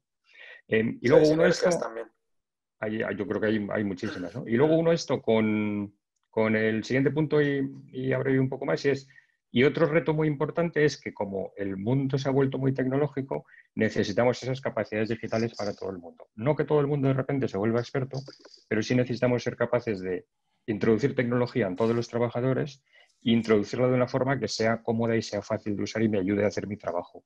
Porque yo creo que hasta ahora sobre todo en la industria, hay muchos puestos de trabajo, los que no trabajan con un ordenador, con un PC, trabajan moviéndose, con guantes, con casco y tal, que mm, darles tecnología normalmente era darle lo mismo que tiene el de la oficina, pero en una tableta o en un teléfono grande. Y yo creo que eso no es, yo creo que es al revés, es, es, darle una herramienta que se adapte a su trabajo, que hoy en día ya las hay, hay muchos tipos, muchas formas, eh, y de una formación tecnológica, una capacitación general. No tanto especializada, sino capacitación general para que todo el mundo entienda el funcionamiento básico de, la tecnología, ¿no? que todo el mundo entienda eh, cómo es algo tan tonto como que si a mí en el 98 me hubieran explicado bien bien cómo funciona esto de Internet, pues lo hubiera tenido más fácil los últimos años, ¿no? Pues quizá en el 95 más bien, pero algo así, ¿no? Luego yo creo que hace falta una capacitación general, pero yo diría a nivel de población general, no a nivel solo de trabajadores, a nivel de, toda la población y, poder incluir la tecnología como parte estratégica. Y, tenía otra idea, pero se, me ha ido el santo del cielo. Vale, si te acuerdas, suéltala, no, no hay problema. Pachi, ¿vosotros cómo hacéis esa parte? Porque realmente viviendo más desde la industria en sí, ¿no? Y también te quería preguntar, luego Hila si quieres, pero ¿consideráis también que las empresas tecnológicas, ¿no? digitales, eh, no se acercan al sector industrial eh, como a otros sectores, quizá? No lo sé. Pero bueno, mm, si quieres primero la primera.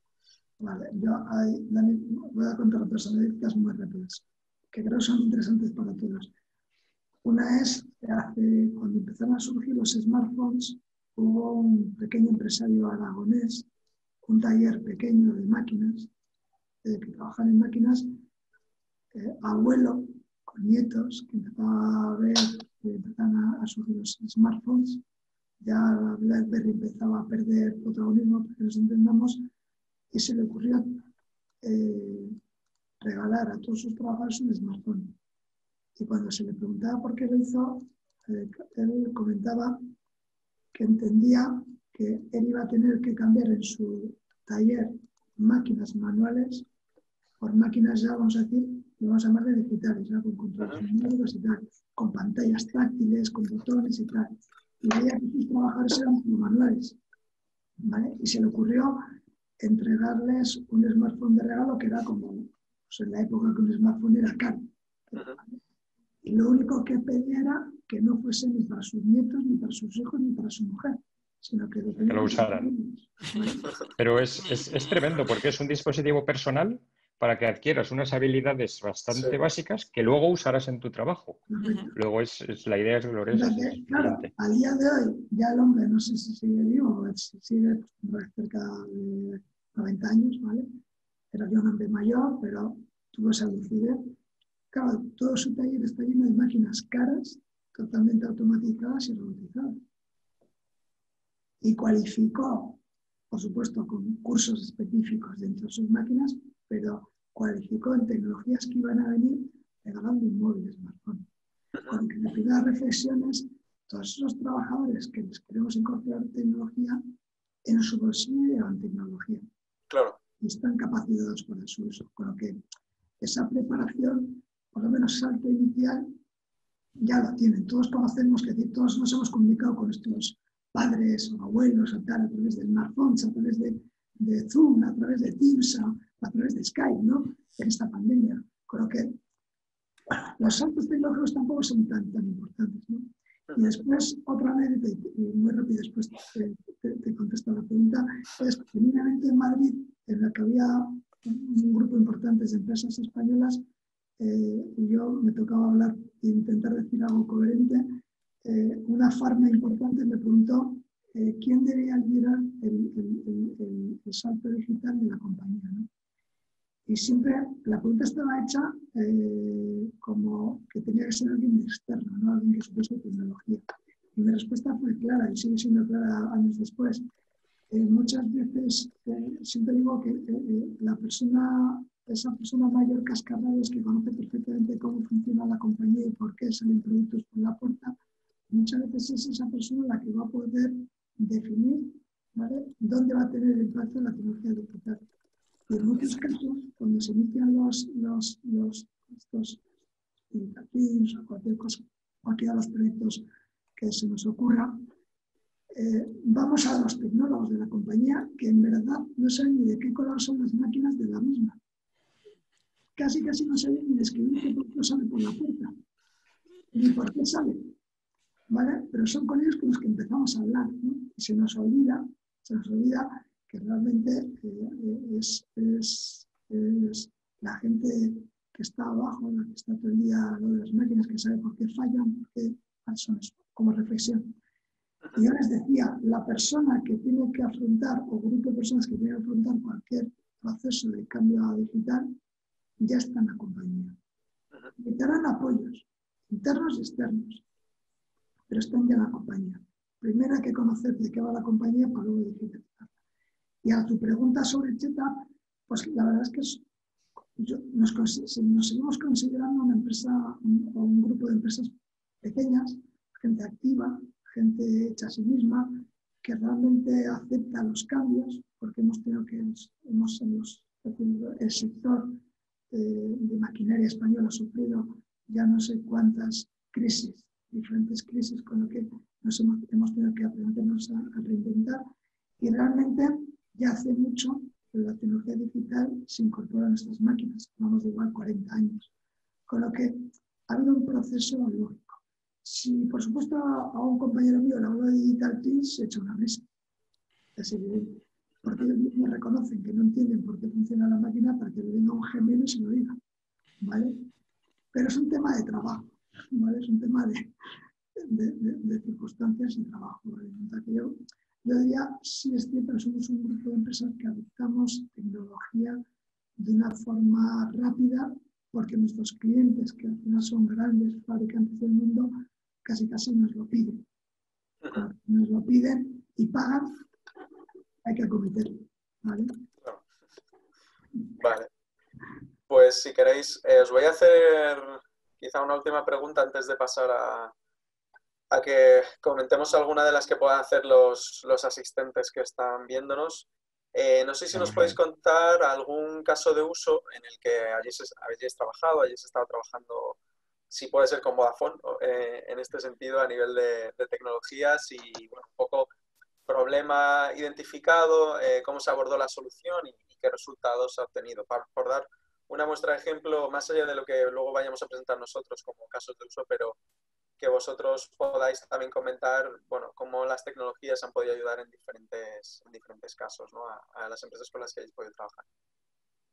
Así que eh, los ejemplos que, que, podáis tener en, ese sentido de, casos de uso.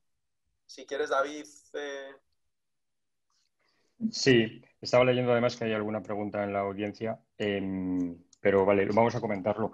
Yo de casos de uso, estamos, estamos viendo como dos grandes casos de uso, alguno lo estamos trabajando con vosotros además, eh, de uso de tecnología que normalmente podrías ver como muy avanzada, eh, lo que hablábamos de los pilotos de hace pocos años y ahora estamos viendo como, mucha necesidad rápida de, oye, esto realmente me resuelve un problema real de negocio. ¿no? Em, y entonces tengo dos ejemplos que, estamos trabajando con vosotros. Uno es de eh, sobre el puesto digital, el nuevo puesto de trabajo, que nosotros con todas nuestras herramientas ofimáticas pues estamos intentando crear un nuevo puesto digital donde el trabajo sea lo más independiente posible del, eh, del lugar donde se hace. Pero el siguiente paso a eso es la gestión de lo que llamamos espacios inteligentes de si voy a la oficina, si no voy a la oficina, gestionar los permisos de quién va a la oficina y quién no. Y como decía, y el siguiente paso es gestionar de forma inteligente la oficina, de tal forma que si va un porcentaje de los trabajadores a, la vuelta a trabajar, pues puedas ponerlos todos en una misma zona para optimizar el espacio de la oficina, pero separado. Y luego utilizar temas como, por ejemplo, eh, Video Analytics en tiempo real para analizar si la gente está junta o separada. Son un poco tecnologías tipo sensorizar la oficina y dar una, cierta inteligencia a la hora de distribuir a las personas eh, eh, para optimizar ese uso. Y un poco responde a la necesidad de la vuelta a la oficina, va a ser distinta a como estábamos antes. No es que un buen día podremos volver todos a la oficina y volveremos tal cual, sino que volveremos un porcentaje, no volverá todo el mundo, hay que optimizarlo, hay que optimizar eh, el uso del edificio, hay que optimizar los trabajadores, van a volver, bueno, la mayor parte de las fábricas están, pero el nuevo modelo va a ser un poco distinto. Entonces, soluciones que mezclan el puesto de trabajo digital con optimizar de forma inteligente el lugar de trabajo, ¿no? la oficina, la fábrica, el puesto. De esto estamos eh, con algún proyecto con vosotros bastante, bastante interesante. Y luego un poco más, em, yo diría, vistoso, eh, tecnologías de realidad mixta, que es esto que es parecido a la una mezcla entre realidad aumentada y virtual, inversión total, pero, pero trabajo en el mundo real. Eh, estamos viendo mucha tirada de realidad mixta en entornos de asistencia remota, donde un trabajador con una determinada maquinaria pesada puede ponerse el visor, unas HoloLens y arrancar una videoconferencia y con expertos que están en otra parte del mundo pueden ver y casi tocar, ¿no? porque pueden pintar en tres dimensiones, interactuar con elementos reales y virtuales. Eh, el siguiente paso a ese, es un tema que estamos viendo mucha tirada ahora porque el ROI, como, como comentaba Pachi, eh, que hay que hacer, sale muy rápido, hay un ahorro de costes tremendo, pero el siguiente paso es la holoportación, que es un tema que estamos trabajando con vosotros.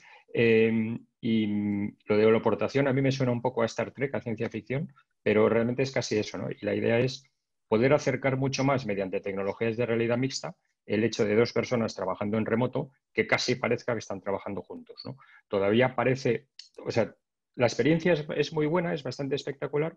No va a ser lo mismo que estar juntos, pero sí permite nuevos escenarios donde varias personas pueden trabajar alrededor de un, mismo elemento físico sin estar todos ahí. Y la experiencia es, casi como estar ahí. Luego, en cuanto coges costumbre, todos estos temas de realidad mixta, holoportación, realidad aumentada, están teniendo mucha, mucha tirada y el ROI sale muy bien, sale muy rápido. Eh, más allá de, además, la, la virguería tecnológica, que es, que es bastante chulo. Pero lo, comento porque esto de la realidad mixta no es nuevo, lo lanzamos hace, hace ya unos cuantos años y todos los que lo probasteis en su día dices, mm, es un poco tecnología experimental, que cuando esto funcione bien como producto cerrado y completo va a ser maravilloso. Ese momento ha llegado, ya lo, ya, ya lo tenemos, ¿no? lo estáis viendo vosotros, Vodafone con nosotros, en los temas de la aportación, pero además el COVID y las nuevas formas de trabajar que nos vienen nos están acelerando eso. Luego yo, son casos interesantes en los que estamos trabajando. Perfecto. Elena. Sí.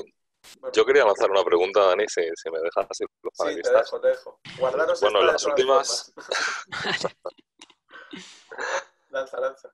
Sí, a ver, en las, en las, últimas décadas hemos visto un poco como toda la industria, gran parte de la producción se ha llevado, debido a, sobre todo a los costes de mano de obra, hacia, hacia otros países, ¿no? Y además hemos visto en estos últimos meses como eso pues ha, ha sido un problema incluso de suministro en las cadenas de suministro y de Occidente, ¿no? ¿Cómo veis que estas tecnologías que estamos comentando y el hecho de que haya una mayor automatización, una mayor predictibilidad en función de la demanda, eh, pueda volver un poco a, revertir esta, esta tendencia, ¿no? como el 5G y esa eficiencia de la que estamos hablando puede hacer que, Occidente otra vez pues, vuelva a ser un poco la, máquina que, lo fue pues, en décadas pasadas. Pues Alberto, como, decías, al final eh, lo que estamos viendo es que hay una necesidad sí o sí de recentralizar la, producción. Hemos sufrido, como Dani comentaba, problemas de abastecimiento durante, durante este periodo de pandemia. ¿no? Entonces, lo que sí que es verdad es que no podemos hacerlo a cualquier coste. Por eso la, aplicación de estas tecnologías es crítico y es necesario para no solamente recentralizar la producción, sino recentralizarlo de una manera competitiva.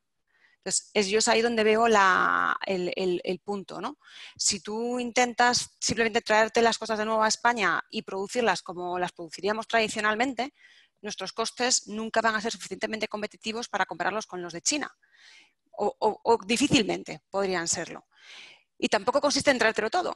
Pero si la, realidad es que tenemos una oportunidad única porque tenemos la tecnología las competencias dentro del, país para, utilizando estas tecnologías, conseguir desarrollar un tejido industrial mucho más competitivo que te permita recentralizar. Estas son tendencias que estamos viendo tanto en Europa como en Estados Unidos, que son necesarias, que ya ni siquiera es una, bueno, es que me parece que puede ser útil, ¿no? Es que es necesario para poder tener un abastecimiento en caso de una situación como la que hemos vivido.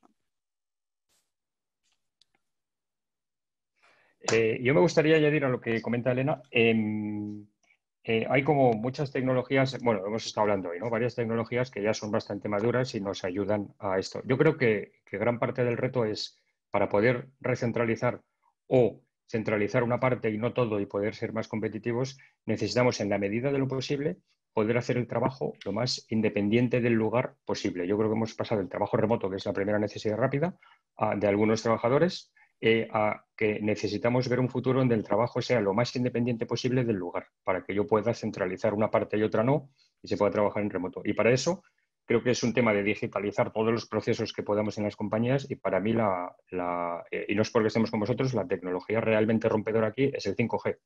Porque las demás ya están, las conocemos y hemos hecho pilotos durante muchos años. Nos falta la que nos haga que la distancia empiece a ser más irrelevante. Y eso requiere unas comunicaciones tremendas. Yo en casi todos los escenarios que me encuentro con clientes, el principal pero es tengo que trabajar en escenarios desconectados y necesito una solución que trabaje desconectada. Y para mí, la respuesta correcta es quizá debería solucionar eso lo primero.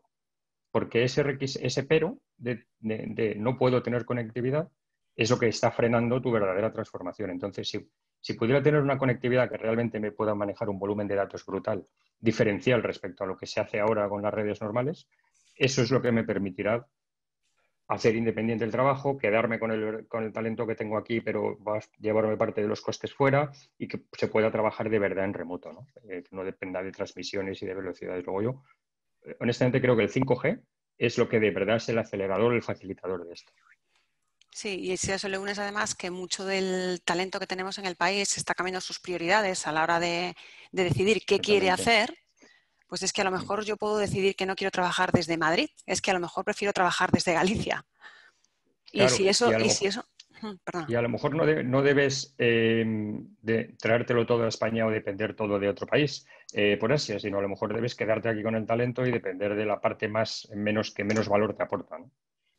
Varias cosas se me ocurren para contestarle a Alberto, pero de unas. Por ejemplo, dentro del grupo tenemos una compañía que son empresas de de hackers industriales y solemos decir que los hackers nacen donde quieren nacer. ¿vale? Pero que un momento es una cosa que nace en remoto. Porque claro, si pensamos que, vamos a decir, en el País Vasco o hasta en España, que la densidad de hackers es más alta que en Estados Unidos, pues nos equivocaremos, ¿no? Llegado un momento, lo que dices es más, con lo que momento tenemos que entender que el talento va a nacer donde quiera nacer y tendremos que adaptar a que en algunos casos, por su escenario familiar o porque le gusta la playa de la Concha, no se va a mover a Madrid, que es una ciudad muy interesante, pero no tiene playa, ¿vale?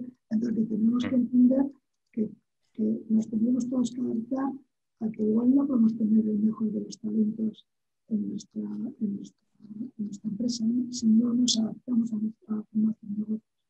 Siguiendo con la pregunta de Alberto, yo diría que ya antes del COVID ya había empresas que estaban regresando de Asia, de producir sus productos en Asia, si no tenían el mercado Asia como venta. Es decir, eh, ya los sueldos y los requerimientos en China se han ido, se han, ido creciendo. Que ya, por ejemplo, la India u otras zonas de geográficas asiáticas son más económicas que China. Por eso China también aborda la industrialización digital porque dejan de ser competitivos. Y ya empresas españolas se están volviendo, por supuesto, eh, en Estados Unidos, obligados por el Made in USA del presidente, también recuperando tal.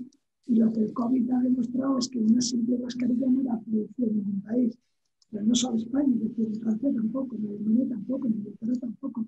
en Europa, como era una commodity muy económica, pues no, no, había plantas de producción, las habíamos cargado todas. ¿vale? Y simplemente lo único que hemos hecho ha sido, en el caso, por ejemplo, de Euskadi, comprar máquinas chinas automatizadas para implantarlas aquí para ir más rápido. Y en un momento despreciamos muchas tecnologías básicas que ya parecían que en Europa no eran producción. que nos hemos dado cuenta gracias al COVID que no podemos depender tanto del exterior. Y para terminar, hay un tema importante para porque, eh, siguiendo con el tema del 5G, David, eh, los que ya tenemos una cierta edad y, peinamos poco pelo o caras, ¿vale? Siempre hemos entendido que primero necesitamos, para muchas de estas tecnologías que, que ha descrito Microsoft, se necesitaba capacidad de computación, ¿vale? Después espacio, claro, no puedes poner una, una carretera de una habitación. Y después comunicaciones, comunicaciones y tiempos de latencia no solo ancho de banda, sino tiempo de latencia. El 5G, ya la parte de computación, un móvil tiene, más capacidad que muchos de los celulares que tenemos encima de la mesa, ¿vale? O nuestros empleados tienen. Eh, ya el tamaño no es el problema. Lo siguiente que hay que solventar, y por eso creo que funciona el 5G, es que nos olvidásemos de, las comunicaciones, que las comunicaciones ya no sean un foco de, de problemática para el despliegue de tecnologías. Y eso es lo que aporta el 5G, ya con el 5G termina. Detectores porque ya la infraestructura da, soporta unas capacidades de computación que para saturarlas vamos a evitar inventar bastantes cosas.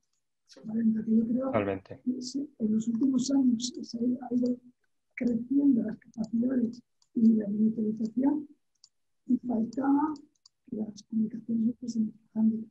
Ahora, yo siempre he sido, he sido usuario del pincho de Vodafone desde que salió con GPRS claro, pues con eso había que conformarse cuando ibas al mundo. Ibas a la guerra con un GPRS de Vodafone, ¿vale? Pero es lo que había. Habilitábamos nuestro, nuestro, nuestro espacio de trabajo. Ahora ya con el 5G es que, mira, no, no tiene sentido. Eso esperamos. Pues ahora, eh, como ya vamos sobre el tiempo, digamos, eh, quiero que me respondáis en un tweet, ¿vale? No, no, no, nos podemos extender mucho más. Son dos preguntas que, que, he recopilado de las que se han lanzado aquí en el público. Eh, Susana Pascual de Pixel Hub preguntaba que, bueno, muchas grandes empresas dependen de las pequeñas como, como la suya, ¿no? que sí que son, son muy tecnológicas avanzadas y están en nicho. Eh, pero tienen muchas dificultades a la hora de acceder al hardware para desarrollar o implementar en cliente muchas, formas, muchas veces. ¿no? ¿Y qué formas podría haber de, solucionarlo? Como por ejemplo esa parte de ese uso de realidad virtual aumentada a través de software y hardware en, las pymes. Eh, pues bueno, esta interacción, ¿cómo lo podrían solventar? Eh, iba más destinada a David, pero si, si dais en un tweet, pues te lo agradezco, David en un tuit. Eh, hoy en día, cualquier empresa pequeña, en dos tweets, cualquier empresa pequeña con, cinco tíos avispados puede hacer lo que hace años hacían 200. Eh, luego, las empresas pequeñas tecnológicas pueden hacer proyectos gigantes. Dicho esto, ¿cómo acceder a hardware que no tenemos? Pues es fastidioso porque no lo tenemos. Bueno, ahora ya sí, por fin ha llegado, pero el, es el típico, estoy extendiendo mucho, es el típico tema de que anunciamos un hardware y un año después llega a España.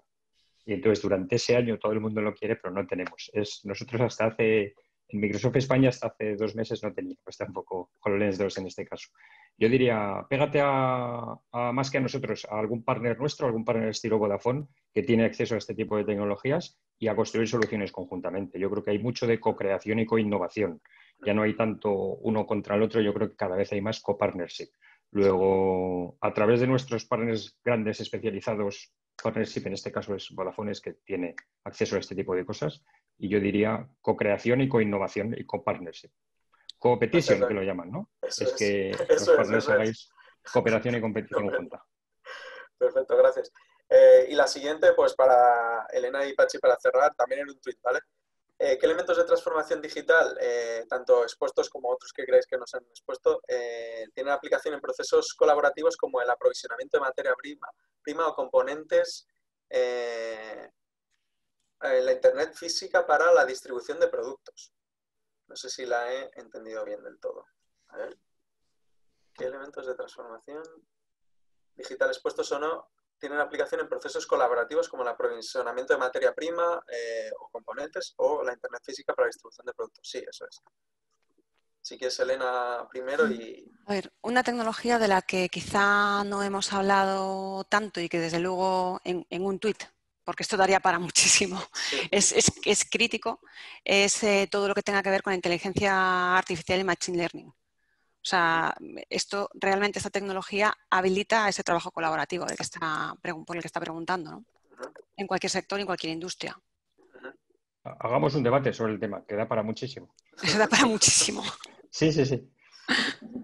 En la parte logística se han aplicado muchas tecnologías de posibilidad de seguimiento, tanto logística interna como logística externa, que están ya ahí a disposición. ¿no? Aunque estoy de acuerdo con Elena, que a partir de ahí después tienes que hacer ese match.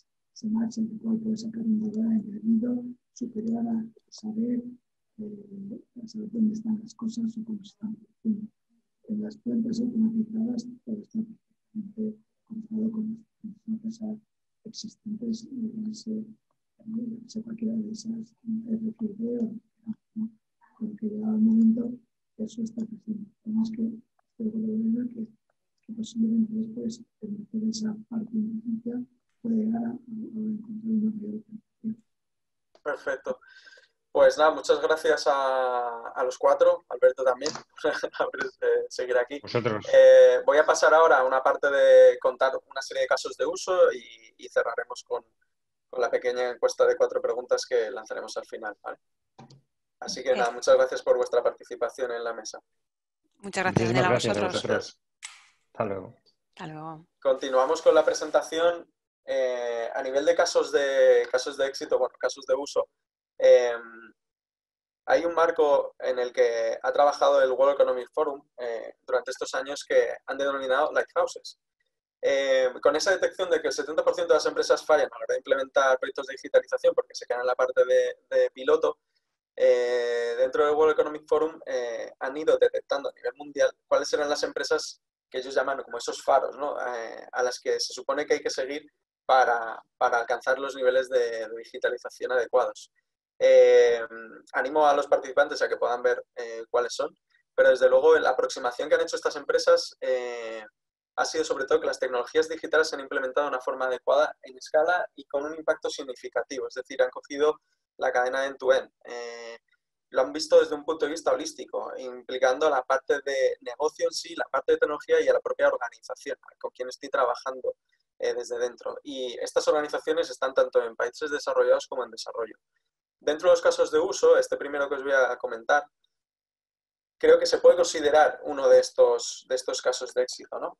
Eh, eGo es una factoría de, vehículos eh, eléctricos en Alemania y se aproximaron nosotros con, el, con los siguientes retos. Tenían una instalación de producción inflexible y por lo tanto tenían problemas para alcanzar los objetivos de producción de unos 30.000 coches al año no tenían visibilidad de la cadena de producción, lo cual les, originaba ineficiencias de costes y sobre todo problemas de, seguridad, y no tenían el número adecuado de máquinas eh, autónomas, eh, con lo cual les daba lugar a, tener un riesgo funcional, de funcionamiento adecuado de la, de la fábrica y problemas de productividad.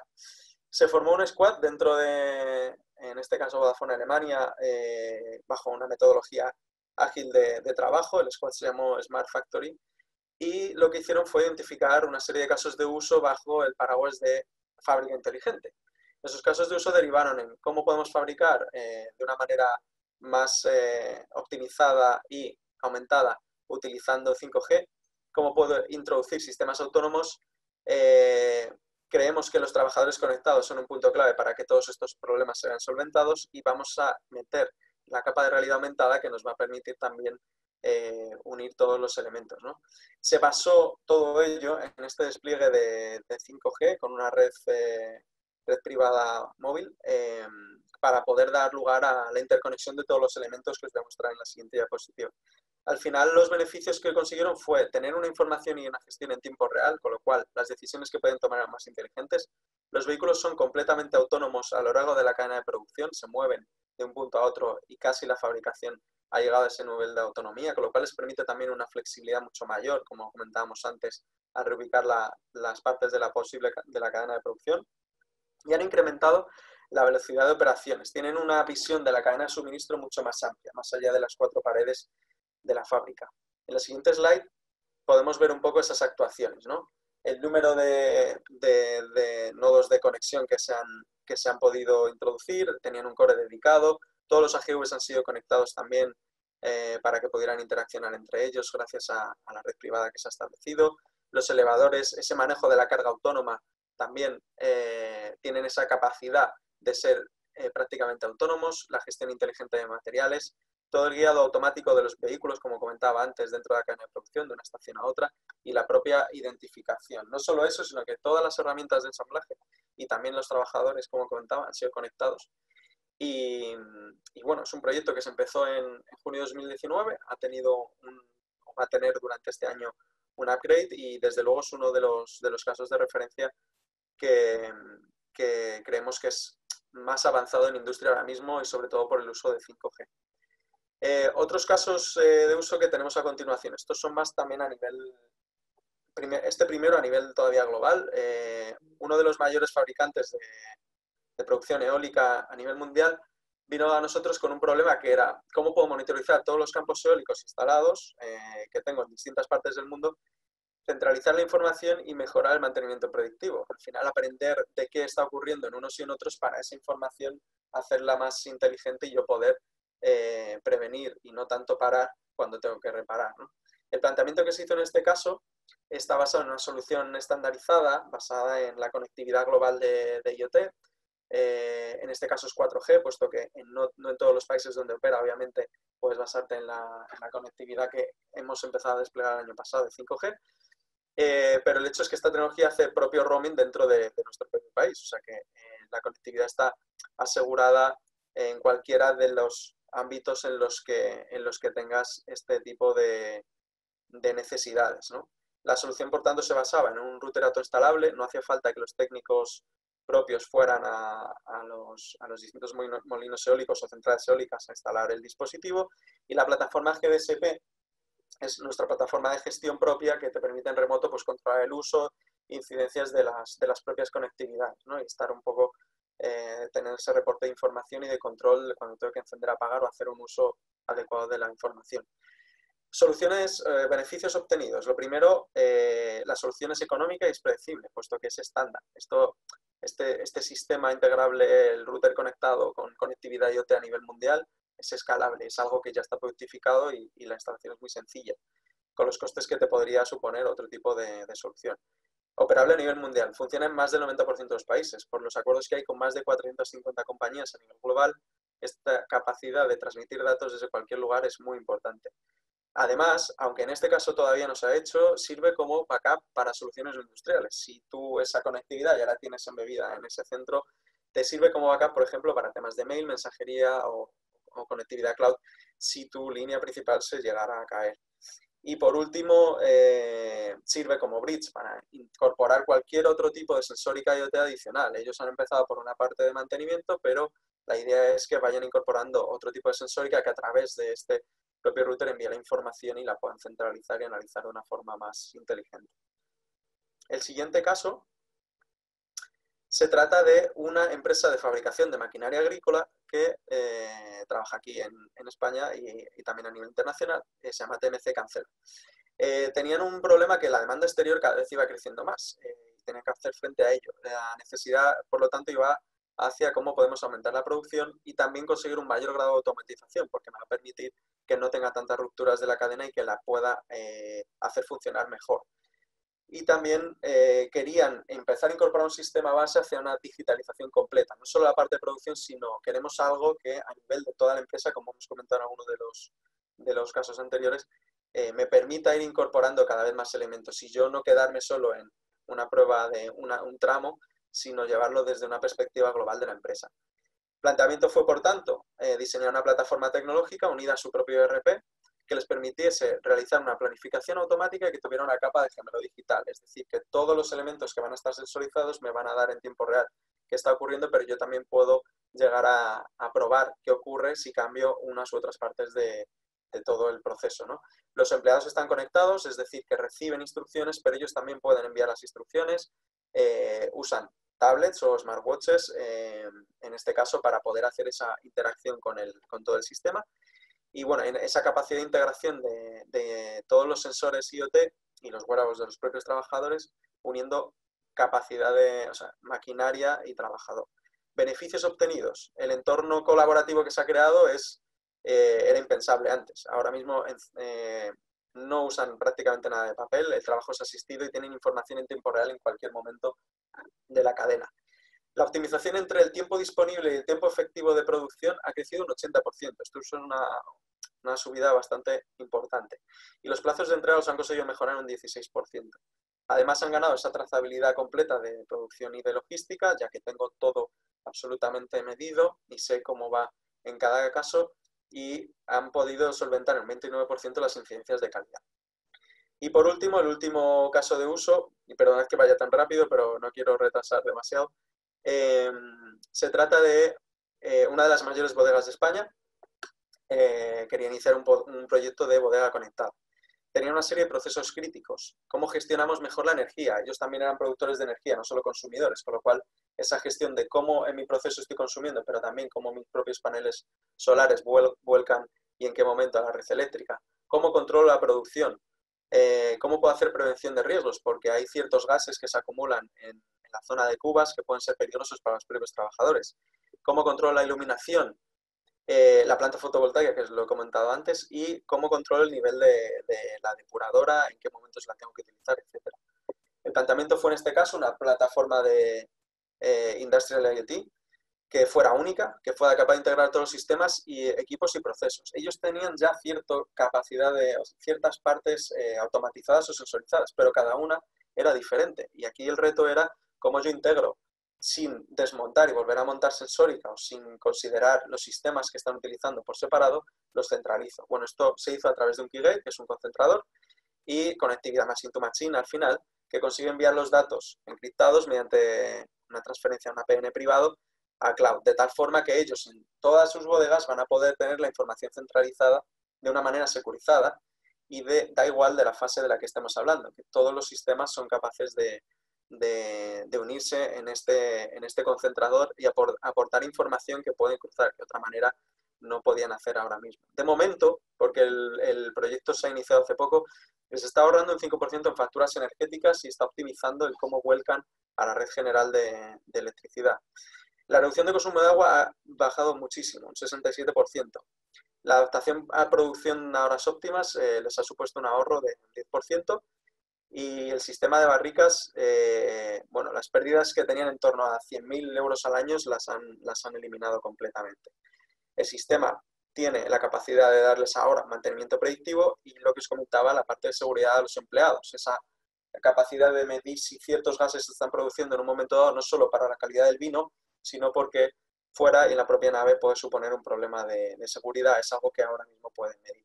Periódicamente se les envían también informes de análisis de cómo está siendo ese consumo, de qué manera pueden, pueden modificar o adaptar la propia producción para ir haciéndola todavía más eficiente. Con lo cual, esto es un proceso iterativo que irá cada vez a más. Y esto es un poco el planteamiento de casos de uso en los que hemos estado trabajando. Eh, os quería dejar aquí nuestros datos. Podéis acceder mediante los códigos QR, pero también seguirnos en los, en los enlaces eh, que veis ahí de las distintas redes sociales. Y os agradecería que respondierais estas cuatro preguntas. Nos permiten mejorar este tipo de contenidos porque al final son para vosotros y también entender un poco mejor cómo, ha podido estar orientada la sesión. Así que eh, os agradecería que pudierais eh, comentar estas, estas cuatro preguntas antes de, de, dejar la sesión, pero por mi parte aquí, aquí finalizamos hoy.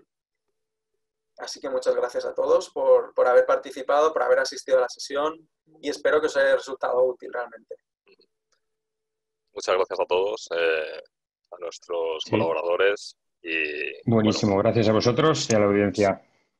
Espero que haya sido de interés. Como decía Pachi, yo ya los que llevamos varios años en el sector, bueno, que pasamos ya la cuarentena, yo creo que hemos visto el cómo llegó casi el ordenador personal a las, eh, a las primeras oficinas, las primeras producciones. Vimos también con la llegada de Internet y quiénes fueron los primeros a adoptar. Vimos la llegada de la movilidad y el cómo ya podíamos hacer cosas con el móvil. Y ahora estamos viendo la llegada del 5G y es que el 5G también va a cambiar el modelo. Lo mismo que lo hizo el ordenador personal, cuando antes en las oficinas solamente había papeles, como lo hizo Internet, como lo hizo el móvil, y lo tenemos que ver, o sea, eh, no podemos caer otra vez y tropezar con la misma piedra, ¿no? Aquí os invitamos a ir pilotando a esa competencia, ¿no? De, colaborar con partners y, bueno, y la tecnología está ahí, lo comentaba también Elena, nunca hemos tenido la tecnología quizá antes que la necesidad, ¿no? Y ahora nos toca ser imaginativos y dar ese paso entre todos. Bueno, pues muchas gracias a todos. Gracias, a todos. Muchísimo. Muchísimas gracias finalizamos aquí la sesión. Hasta luego. Hasta luego. Hasta luego.